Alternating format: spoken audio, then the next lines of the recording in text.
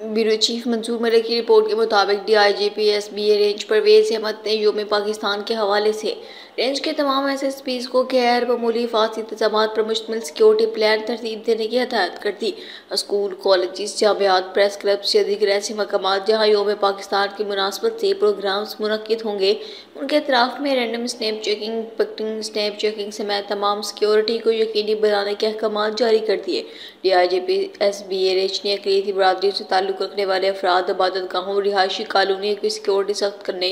और पुलिस नफरी को नुमाया वक्त पर तैनात करने समेत ड्यूटी की हसासियत पर आगाही देने पर ज़ोर दिया। उन्होंने रेलवे स्टेशन बस टर्मिनल, सरकारी और नजीम गुंजान इलाकों, मसरूफ बाजारों अहम मकाम पर मोबाइल मोटरसाइकिल गश्त और नफरी में इजाफे के भी अहकाम दे दिए। दाखिली और खारजी रास्तों की कड़ी निगरानी शेरपसंद अनासर मशकूक अफराद पर कड़ी नज़र रखने की हदायत जारी कर